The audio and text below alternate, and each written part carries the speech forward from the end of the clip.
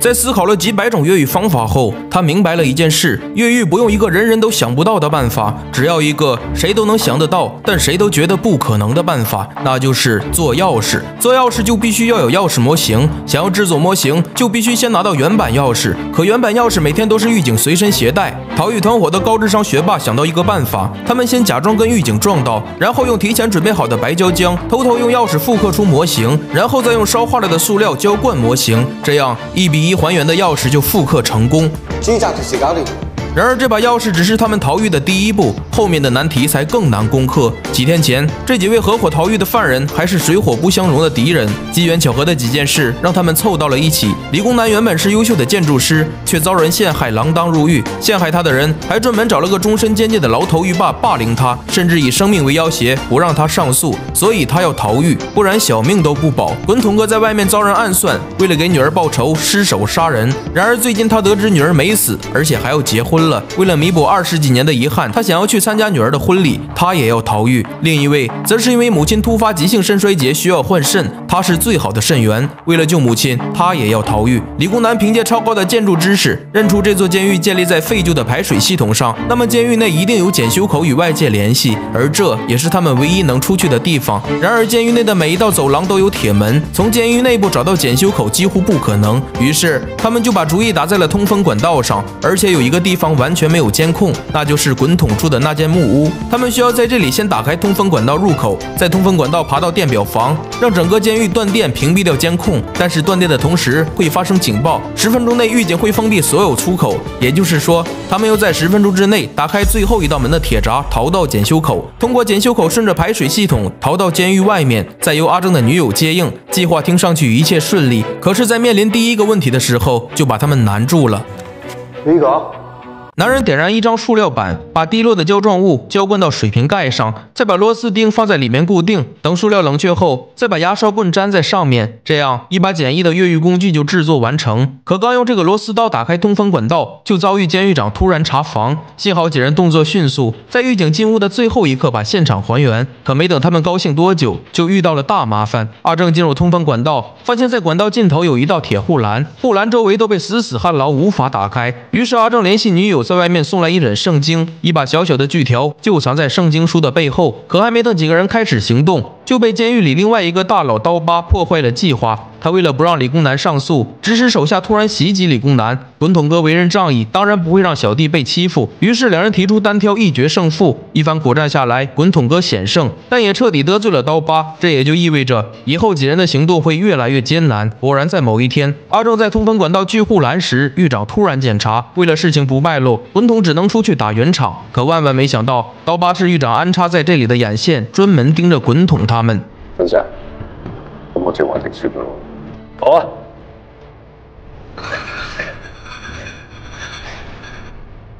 希望见到滚筒佢哋，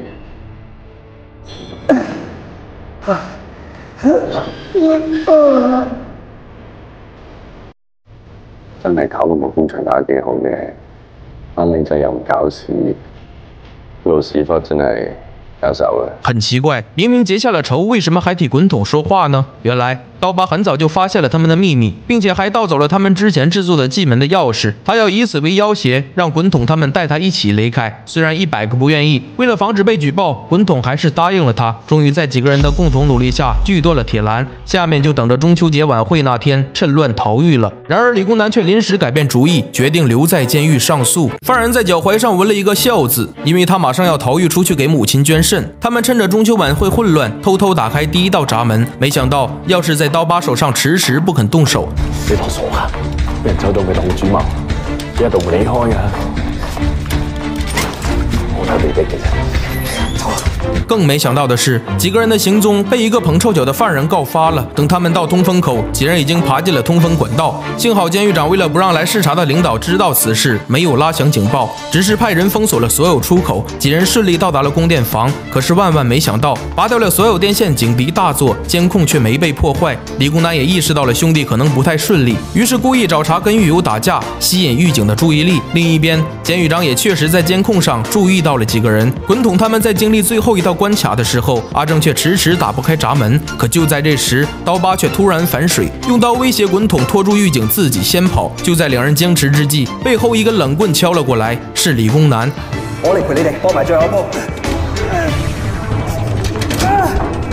三人成功逃到杂物间，却因为没有撬棍，迟迟打不开井盖。理工男为了拖住时间，出去跟警察拉扯，自己却被打得头破血流。而另一边，阿正为了给滚筒机会去帮理工男，最后三人通通倒地，滚筒也成功逃到外面，与阿正的女友碰了头。滚筒出去的第一件事是去女儿的婚礼，然而妻子还在对二十年前的事耿耿于怀，想把滚筒拒之门外。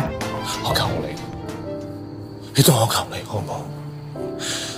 我知我唔系一个好父亲，你俾一次机会我，我应承你，我入到去望佢一眼之后我就走，好唔好？吓，我应承你，我好难先出到嚟啊！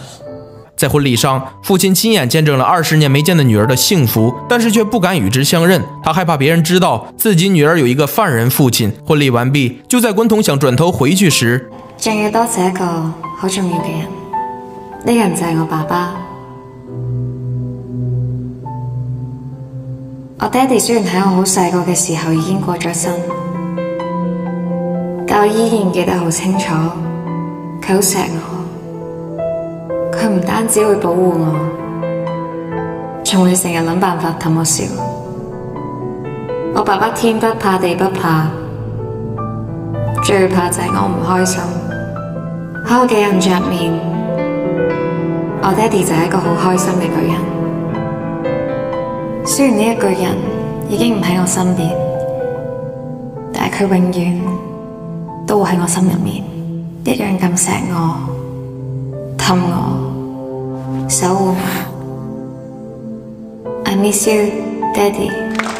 故事的结局是圆满的，滚筒信守承诺，选择了回去继续服刑，而阿正也被送去医院，有了给母亲换肾的机会。几个月后，阿正母亲康复，滚筒女儿也与他相认，而那个曾经害理工男入狱的人也成了他们的狱友。其实热爱港片的朋友都能看得出来，这部电影有《监狱风云》的影子。很多人说港片后继无人，这部电影也确确实实给了我一点惊喜。希望港片能够再回到那个辉煌的时代。好了，我是 AJ，如果你喜欢这个故事，记得点赞、关注、双连，我们下期再见。